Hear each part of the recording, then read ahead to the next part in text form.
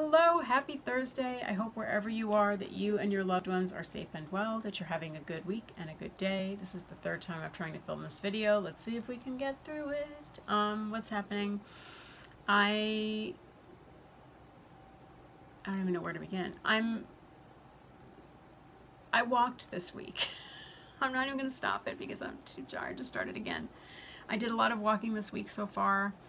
Um, a few miles, I think, each day and uh, I did turn around yesterday. I had planned to go further, but I realized I just couldn't do it, and so I I met my goal. I went where I wanted to go. Um, like I have a landmark that I try to get to, and I was going to go to another one of my hot spots, but then I was like, you know what? It's a lot of downhill, and I didn't want to come back up the hill, and so I thought, you know what? No, let's just not.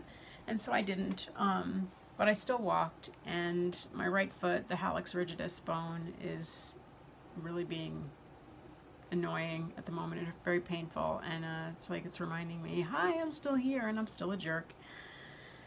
So I have to go see my podiatrist soonish. I have to call him and let him know because now I'm having to let every doctor that's ever examined me know, hey, I had a stroke. Um, and then they're all like, oh, you know what? Let's draw labs and do tests and stuff. And uh, so that's lots of fun. But next week I see the stroke specialist, which I am looking forward to because I'm hoping that he can give me some information and guidance on trying to figure out why this happened. Um, maybe he can't, maybe he won't. I don't know. Maybe there's no why. Maybe I'll never know. But I at least have to ask the question. Um, and then probably the week after that is the test I really don't want to do, uh, the transesophageal echocardiogram. But I know they have to do that to get the measurements of the hole in my heart and see if it's really a problem. Um, if it's gotten bigger, if it's whatever. Anyway, I talked about that in the past. Um, we don't have to revisit it until we have to revisit it. Uh, what else is happening?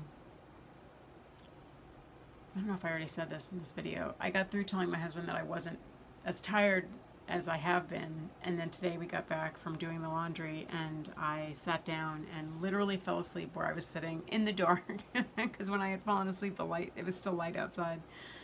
And um, so I woke up, I was like, why am I still sitting, why am I sitting on the floor, number one? But like, what what's happening? And then I realized, oh wait, you sat down and just fell asleep. Um, so granted, it was a more physical day. We were doing stuff, but I, I guess I'm less tired than I was in the beginning. Like that it's a different kind of tired. I can't even explain it because I've lived with tiredness for 20 years, um, you know, between being a parent and not sleeping and all the medical stuff. But stroke tiredness was like, oh, you don't know tiredness, Becky, until you've felt the way I can make you feel. So it's it's just been exhausting, but you know, it's it's been a little bit better this week. I'm still tired, but it's a different kind of tired. It's hard to explain. Um, but yeah, I know uh, this probably is like the worst video. I'm not really making a lot of sense. I'm tired, but also if you've messaged me on social media and I haven't answered you, um, it is because I cannot stay on my phone for long periods of time. Like this, I'm filming, so I'm not looking at flashing ads and scrolling through stuff. Um, but I can't be on my phone or my iPad for a long period of time because I, I just can't, I just can't read that long and flashing colors and scrolling and all that. I can't, I can't do it for long periods. My eyes can't take it. In, in fact, I love the Olympics. I, we enjoy summer and winter Olympics. Ice skating, I love. Snowboarding and skiing, I love. I have barely watched it because the contrast in the ice color and the snow, it's like the other night I was sitting there with my sunglasses on and a baseball cap, uh, yeah, and baseball cap, and then just because I couldn't, I had a beginnings of a migraine, but also I couldn't take the brightness of everything. It was just like, please stop. And every ad has a flashing something, or the colors are ridiculously bright, and it's just like, do you know what people are going through? And it's like ads for medication, and it's like, could you think about the people that have had a, you know, a brain issue, like, and not make everything so bright and flashing and, hi, hi, we're here. But anyway. So that's my, my soapbox. Oh, I have one more soapbox. If you live in the city, any city, I don't care where it is, and if you hear an ambulance coming, if you're in a car, slow down. If you come to an intersection, slow down and make sure it's not going through. You know, needs to get through where you are. If you're walking, do not uh, try to outrun the ambulance through an intersection because that's idiotic. Yesterday, I in my walk, I witnessed an FDNY ambulance having to take five minutes because I was walking and I, you know, was not as fast as I would have liked to have been. But I basically got to the corner before the ambulance did.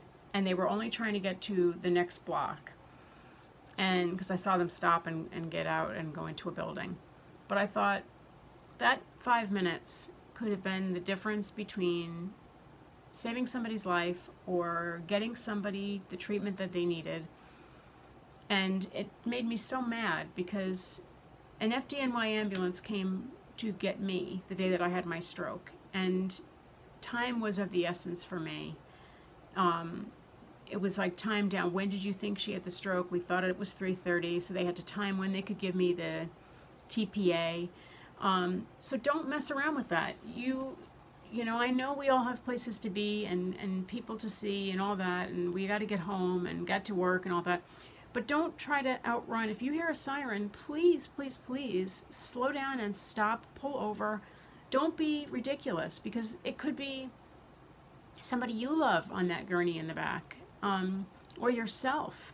So it's time is critical and that's five minutes that they could have been around that corner assessing the patient and seeing what the way they needed to do. And it just made me so angry because i thought man i don't know if anybody got in our way on the way but everything was down timed down to the minute of when they thought i had the stroke and when they could give me the medication and if they still could give me the medicine. And that's why i got my left side back. So i'm asking everybody to be good citizens and you know, be mindful of sirens and fire engines and, you know, whatever.